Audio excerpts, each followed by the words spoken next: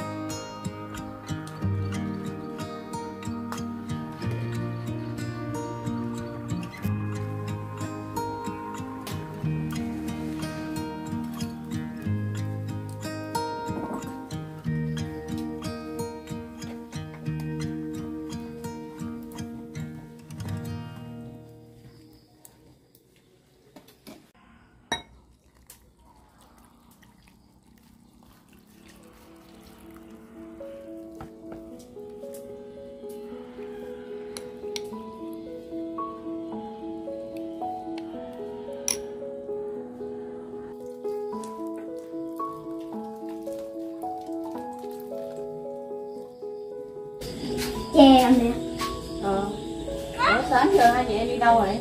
dạ con đi chơi Con đi chơi rồi sao không có mẹ không ừ. Em cô đi đâu rồi? Thế cô đạp xe ngoài đi Nói em về tắm rửa đây con Chuẩn bị ăn chè Xong với mẹ nói chè sau đậu xanh Vâng.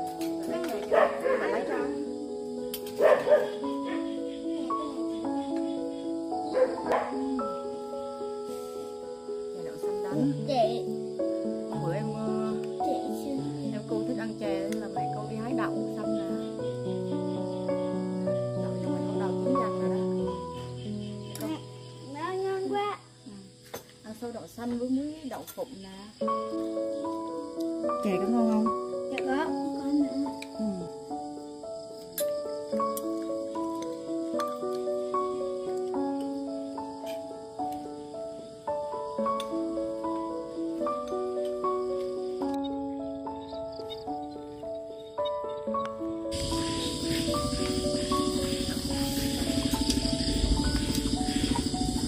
hè này hai đứa nghỉ hè rồi không. Phụ mẹ hái đậu yeah vậy là con được qua rẫy rồi. Con được vào rẫy ông bà nhưng mà chưa vào rẫy mình. Ừ. chỉ có em cô được vào thôi. Khi nào cô đi tiếp nha. Con biết rẫy có mẹ rồi. Là con đi tiếp. Ừ. cho con chè nữa nhé mới xô ăn. Ăn xôi kèm chè hưởng ngon không? Ngon. Chắc là nó ngon á. Ừ. chỉ có ăn xôi nha mẹ xôi còn kìa con bữa nào mẹ nấu cái này chín hả mẹ Ừ.